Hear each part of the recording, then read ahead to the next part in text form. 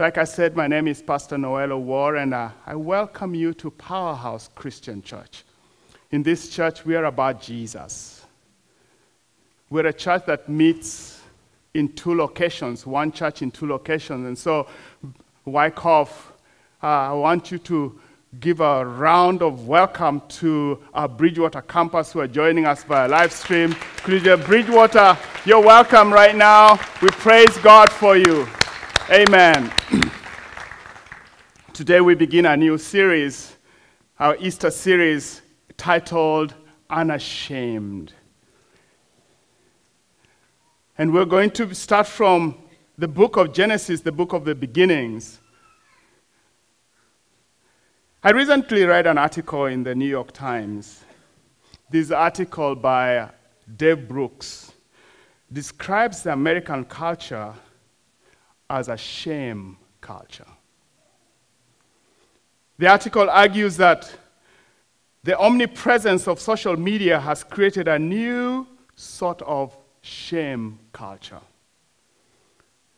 The world of Facebook, Instagram, and the rest of uh, social media is a world of constant display and observation. When you put something on social media, it goes public the whole world can access and see. So people are in constant display and observation. And with this comes the desire to be embraced and praised by the community that are seeing what we have displayed. And this, this desire is so intense. And you know what? People dread being exiled and condemned when they put whatever they put out there. Moral life is not built on the continuum of right or wrong, it is built on the continuum of inclusion and exclusion. Everybody is perpetually insecure in a moral system based on inclusion and exclusion. And by inclusion and exclusion, I mean um, you, you feel included when you have so many likes on your page. There's a feeling of, you know, I'm included, I belong, I'm loved. Or excluded when there are no likes. Or, worse still, there are comments that might put you down. And with that comes shame. The people of this generation are constantly struggling to find their identity, their security in and through the social media. This is a shame culture. This article continued to say that in an era of omnipresence, social media, it is probably important to discover and name your own personal true north. You need to name your vision of an ultimate good instead of waiting and looking to and depending on others to define you and name you. Most of us are living under the oppressive umbrella of shame. Now, let me just quickly define what shame is. shame is the feeling and the thoughts that we are somehow wrong, defective, inadequate, not good enough, or not strong enough. You're being told every day by circumstances and situations and people and things and probably history, the past that has happened in your life, that that, that you're, not, you're not good enough, you're inadequate, you're defective, you're not strong enough. When you feel shame, you feel like your whole self is wrong, that everything about you is wrong. Now, let, shame and guilt are different. Let's not confuse shame and guilt. When you feel guilty, you're making a judgment that something you have done is wrong. But when you feel shame, you feel like the whole of you is wrong. See, you'd rather be guilty than shame. If you're to given shame and guilt, you probably should choose guilt, though none of them is attractive at all. I grew up feeling shame. Grew up in extreme poverty in a little town in Kenya. Most times we didn't have enough food for my family. We didn't have enough clothes. I went to school with very torn clothes and no shoes. And close to the place where we lived, there, were, there was a very rich neighborhood.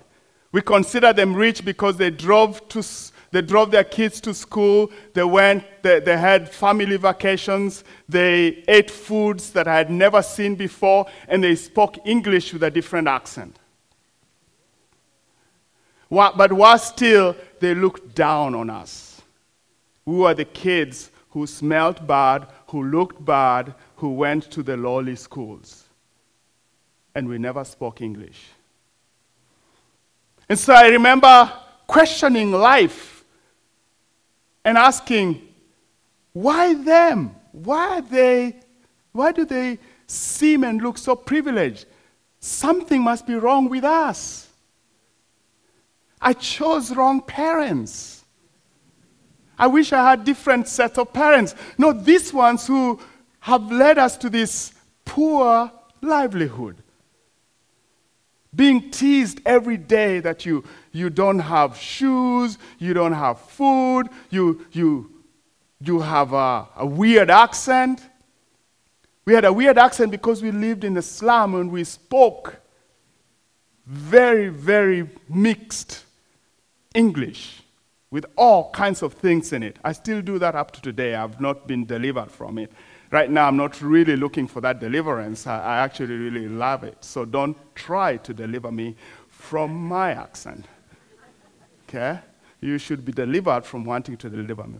Anyway, that's for another day. So I experienced a lot of shame. And shame is just this thing that has followed me most of my life. Because other than growing being poor. There was also a lot of physical abuse that we experienced from my, my teachers in school who made us feel like we're stupid and we don't know,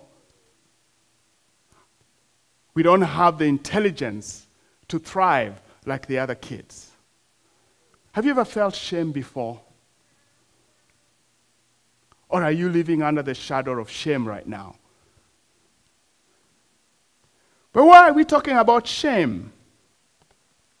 Why aren't we talking about guilt or any other thing? Let's look at Genesis. I'll first read I'll first read chapter 2 and then I'll go back to chapter 1. All right? I read chapter 2 from verse 7. Genesis chapter 2 verse 7 and then I'll read verse 25. Genesis chapter 2, verse 7 says this Then the Lord God formed a man from the dust of the ground and breathed into his nostril the breath of life, and the man became a living being. Verse 25. Adam and his wife were both naked. I think I just got some of, I got your attention. Like, wow, naked. Is that in the Bible? that the Bible talks about being naked. Adam and his wife were both naked and they felt no shame. Why shame? Why doesn't it say they felt no fear? Why doesn't it say they felt no guilt? Because shame is this thing, like I said earlier, that would make you re- feel like everything is wrong with you that everything you've tried is wrong, that your whole being is wrong. And if, there's, if the enemy succeeds to put shame on you, he has succeeded in destroying your very being, who you are. That's why the Bible is careful to say that there was a time in history when humanity did not experience shame. There was a time in history when humanity was unashamed. Next week, we'll read in chapter 3 to see how shame came to earth and the, the effect and the impact of shame. And we will even go further in this series to let you and I know that we can be unashamed, that we can truly embrace being unashamed. But today I want us to look at how, what is it about Adam and Eve that helped them to live without shame? What are some of the things that we learn? And if we could begin to grapple with some of those things that we learn from the life of Adam and Eve in chapter 1 and chapter 2 of Genesis, will help us to begin to confront any shame that is in our lives. Amen? So, Genesis chapter 1. I'm reading from verse 26. This is the creation story. We're on the sixth day of creation. God has created the heavens and the earth. He's created the stars, the moon. He's created the sea and all the creatures of the sea, the birds of the air. And in verse 26, it says, Then God said, Let us make mankind in our image in our likeness, so that they may rule over the fish in the sea and the birds in the sky, over the livestock and all the wild animals, and over all the creatures that move along the ground. Verse 27 So God created mankind in his own image. In the image of God, he created them, male and female. He created them. Verse 28 God blessed them and said to them, Be fruitful and increase in number, fill the earth and subdue it, rule over the fish in the sea and the birds in the air and over every living creature that moves on the ground.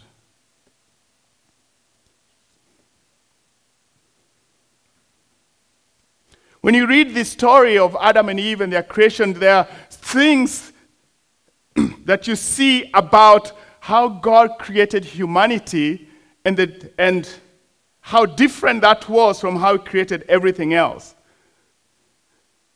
You and I were created, we are unique creations. You and I are unique creatures of God. And you'll see our uniqueness in three areas in value, in purpose, and significance. Look at how unique humanity was created. It says in, in chapter 2 of verse 7 then the Lord God formed a man from the dust of the ground and breathed into his nostrils the breath of life. And the man became a living being. It says that, you know, God, in day one, God spoke, let there be light, and it was. Day two, God spoke, let there be. Day three, God spoke, let there be. Day four, God spoke, let there be. Day five, God spoke, let there be. Day six, God spoke, let there be. But in the middle of day six, God had a meeting. God had a meeting himself and say, we, we need to make some special creation. This creation will not just say, let there be. We need to, we need to make someone very, very special. So, so they came up with a strategy that we're going to go and get some clay. As a, how many of you have played with Play Doh? Raising my kids, Play Doh was, uh, you know, played with Play Doh like every day, you know, trying to mold. God had Play Doh, brought Play Doh and started molding and forming and shaping.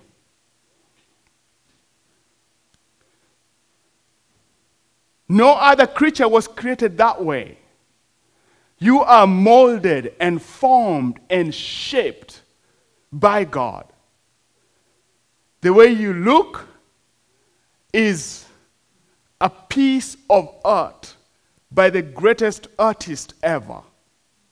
If you want to see the creativity of God, come on. Look at the mountains. Look at the sea, the heavens, and the earth. Look at the moon when it's rising. Come on, enjoy the snow. But now you don't want to talk about snow. We are beginning to, to, to see the spring come, right? Though I was told that there might be some snow hitting someday, but I like, no, uh, depart from me. That's like from the devil. I was told that maybe Friday there might be something. I don't know. But right now, I just want spring like yesterday was awesome. I was like, I don't want to be inside the house, I want to be outside.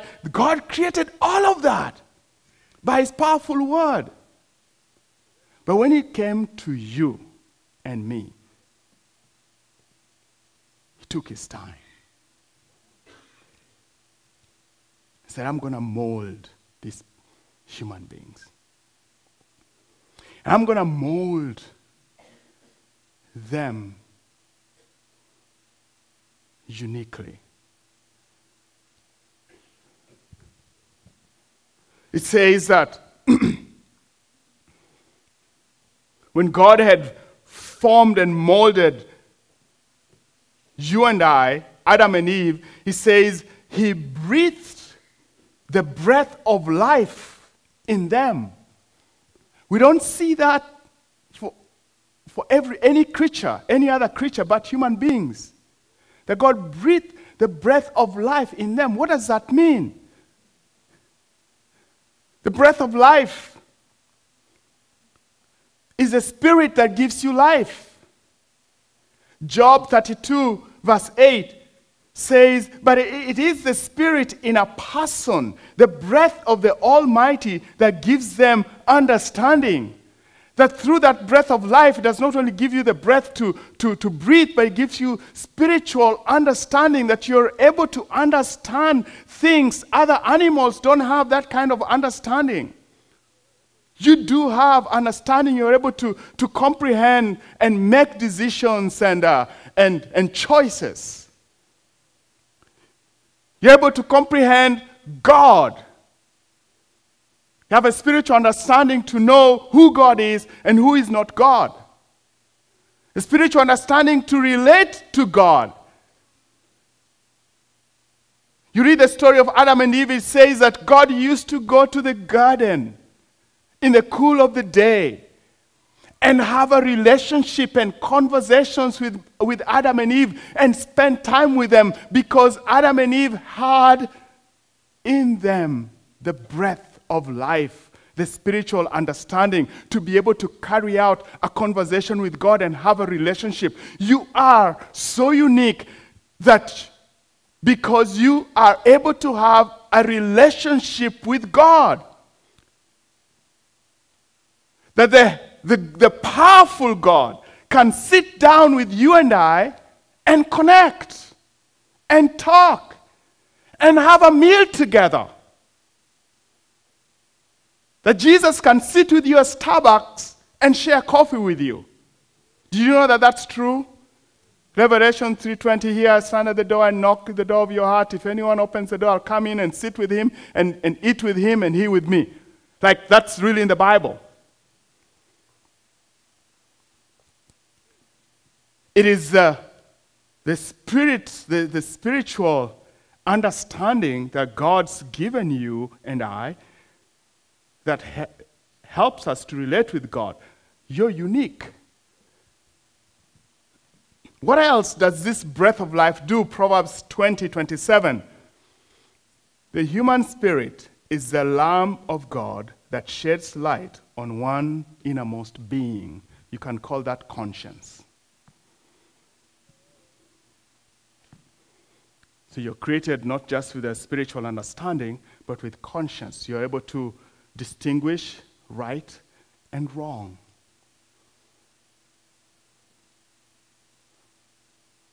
You're unique.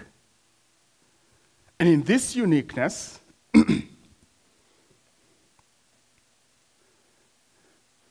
we, are, we learn that we are unique because, one, we are of value.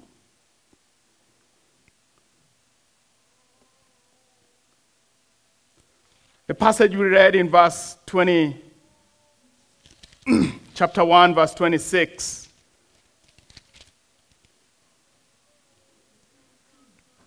Chapter 1, verse 26 says that um, we are, let us make man, mankind, in our image, in our likeness, so that they may rule over the fish of the sea and the birds in the. What does it mean to be made in God's image, God's likeness? Back in the day, the kings of the earth would build statues in their dominion, statues that were images of them. And they would place these statues in strategic places in their kingdom, in cities, in, in town centers, so that anyone walking around in that city or that kingdom, when they saw those statues, they knew who was in charge, how powerful he was, how wise he was, and how majestic. And people would go and pay homage and bow down before these statues in honor of the king who created these statues in his image. But God has six billions, not statues, but beings, creations with his spirit, who have been created in his image. Anyone walking around the surface of the earth, when they see you, they see the King of Kings the one who rules. You are a representation of the image of God that when people see you, they know who is king here.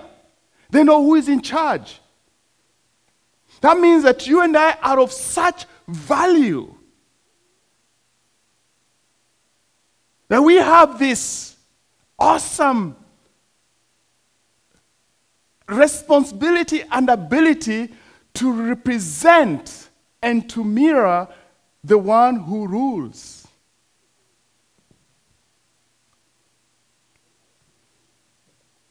But you know, over time, people have turned away from God. They have lost their sense of value. And they begin to look for, they begin to look to other things to confer value on them.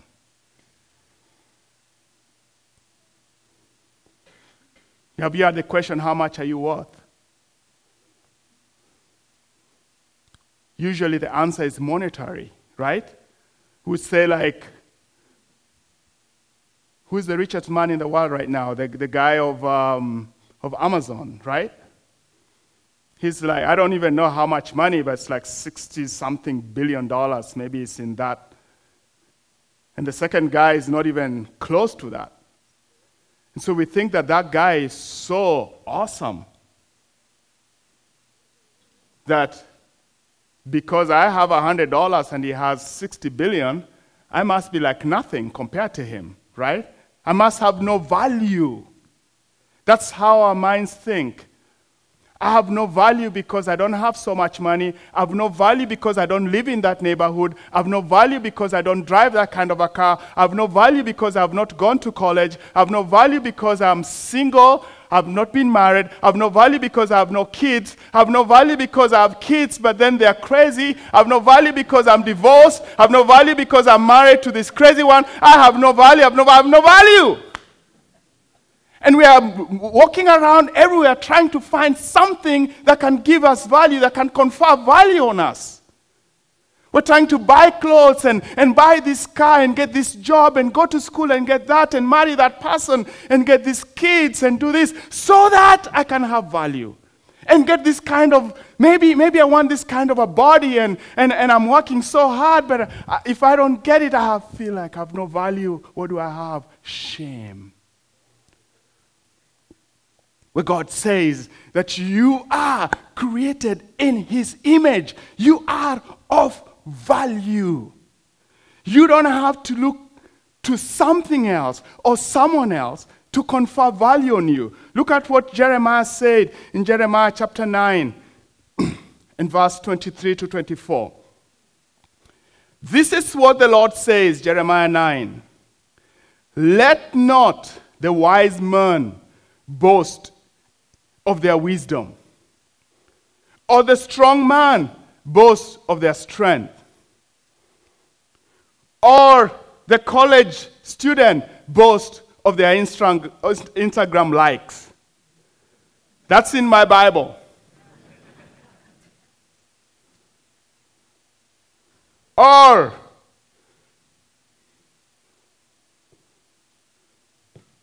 the guys who live in the Northeast boast of their money.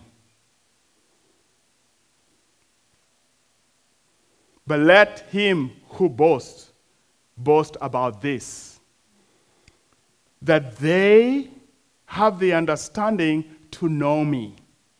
Remember, we talked about that understanding, that spiritual understanding? That should be your boast, that I have the understanding to know God, to know me, that I am the Lord who exercises kindness, justice, and righteousness, righteousness on earth. For in this I delight, declares the Lord. What's your boast? Another question is where do you get your value from? You see, when you are able to answer that question where you get your value from, then you will also be able to, to begin to deal with the question of am I unashamed or am I living in shame? Because if your boast is not in knowing God and it's in something else, then I have bad news for you that you're living under shame that the devil has you exactly where he wants you. But God is telling you this morning that I want you to change where your boast is.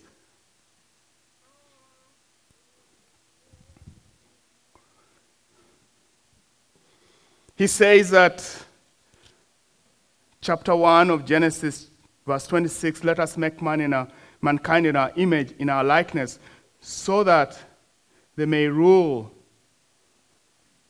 over the fish and the sea. Some other versions say so that they may have dominion. When I think of dominion, I think of the word significance. Dominion is to be able to make a difference. Why am I here?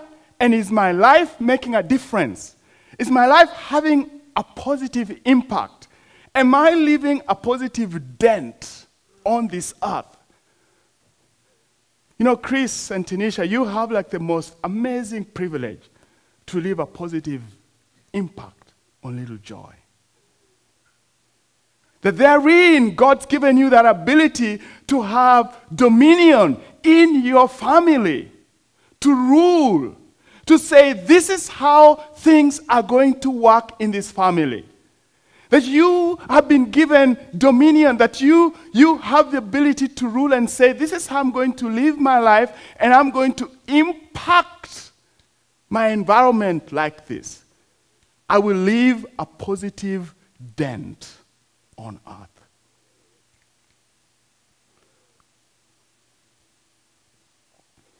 You know, you don't have to do big things to leave a positive dent on earth. The guy who led me to Christ, I was only 17, was my first ever basketball game in this season of basketball. You know, we've seen Sweet 16, you know, and uh, that was my first ever. I did not know how to bounce a basketball ball. I was playing with these white kids who had just flown to Nairobi, I mean to my, my high school, from Portland, Oregon. So, in the middle of trying to learn how to play basketball, this kid comes to me and he tells me, looks at me in the eye and says, God loves you. See, at that time I was oppressed by shame. I thought that everything was wrong with me. Look at the poverty, look at the things which are going on in my life. And this kid comes, this white kid. He was so white. It was just like, wow, never seen that white. Like, could almost see through his veins, and he looks at me with his blue eyes, blonde hair. God loves you. And I'm like, wow.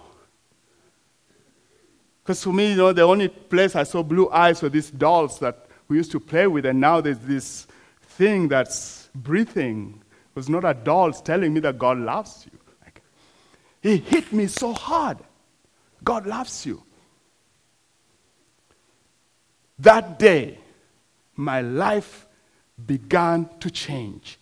That day, I accepted Jesus as my personal Savior. That day, I began to experience the journey of being unashamed because someone who understood their purpose came and looked at me in the eye and told me, God loves you. And they left a dent in my life. It has completely changed my life. The life of my whole family has changed. Most of the people in Africa have got to know Jesus because I used to travel most parts of Africa preaching this gospel, and now I'm preaching here in New Jersey because some kid who understood their, des- their purpose, they understood their value, decided that they are going to preach this gospel, and they had a dent in my life.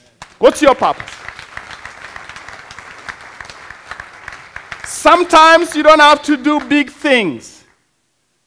You just have to let the big God do little things through you. And when the big God does little things through you, they have big impact. That's what happened that day. Do you have dominion? That day, that kid took dominion of the basketball court and said, I'm going to talk about Jesus. You are created to rule. So you not only are unique, but you have significance. Lastly,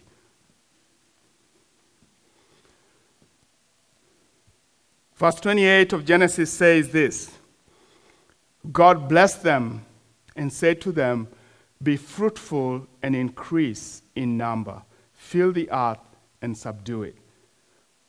Again, the rule, rule over the fish is here again. It's amazing how that is being stressed.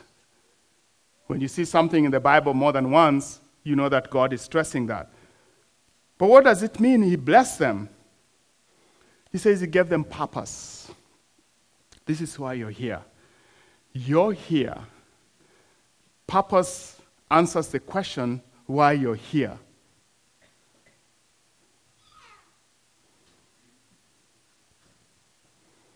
You're here to be fruitful. You're here to multiply people who have my image. You're here to bring the gospel of Jesus to situations so that the image of God might be seen. That's why you're here. That's your purpose. You see, shame will tell you that you have no purpose. Shame will tell you that, you know, you're a mistake. That there's really no reason why you're here. In fact, you're so worthless. You should take your life. There are kids living in this wealthy area of New Jersey who are committing suicide every day, right? Because they're being told that they have no purpose that they have no reason to be here, that their lives are useless. God says that you're blessed to have an impact.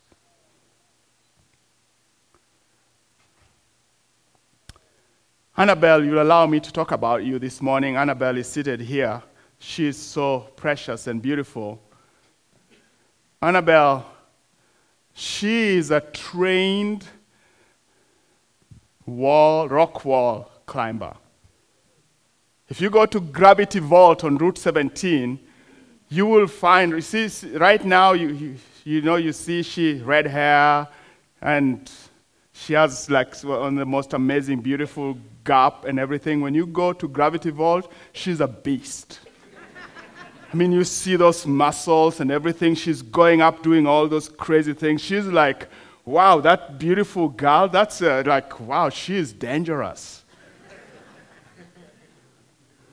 so, this sweetheart last week, she spent time with kids helping them to go up the rock wall.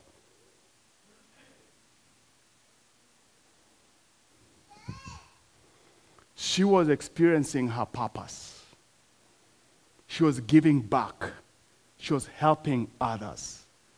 With what God had given her and trained her, the skills that God has given her, she was using that. Said, My purpose is to help someone. She told me, Noel, I want to do this.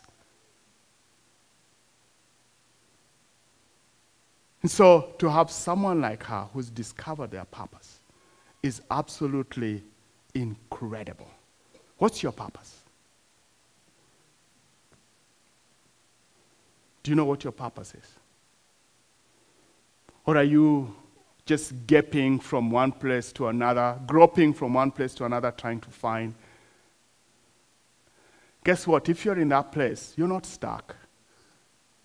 Because this is what God says. I'm going to leave us with this verse in Colossians chapter 1 in verse 13. You see, there was a, like me, I was under the dominion of shame.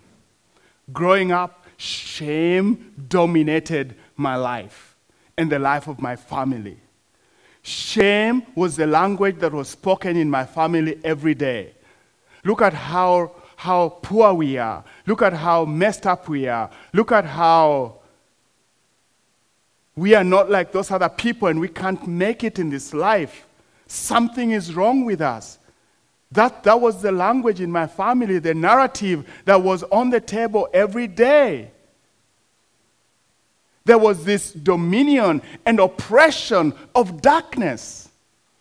I don't know what the narrative in your family table is. I don't know what the narrative that's going on in your heart is. I don't know what, what stories you tell yourself. Maybe there are those stories of, I am wrong, I'm messed up, my marriage fell apart, I must be a really, really bad person.